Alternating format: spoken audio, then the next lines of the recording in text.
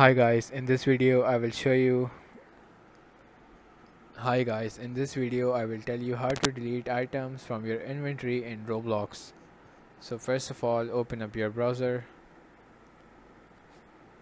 and head on to roblox.com then click on the three lines on the top left. Then go on to inventory over here find the item you want to delete. Before deleting an item, you have to make sure it is eligible to be deleted. The eligibility criteria is that the item should have been created by you or it should have been purchased recently.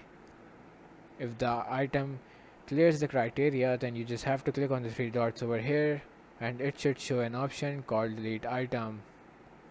Since this item wasn't purchased by me or created, I cannot delete this item.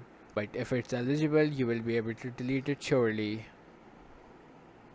Thank you guys for watching and if you want more videos like this, please make sure to hit the like button and subscribe to our channel.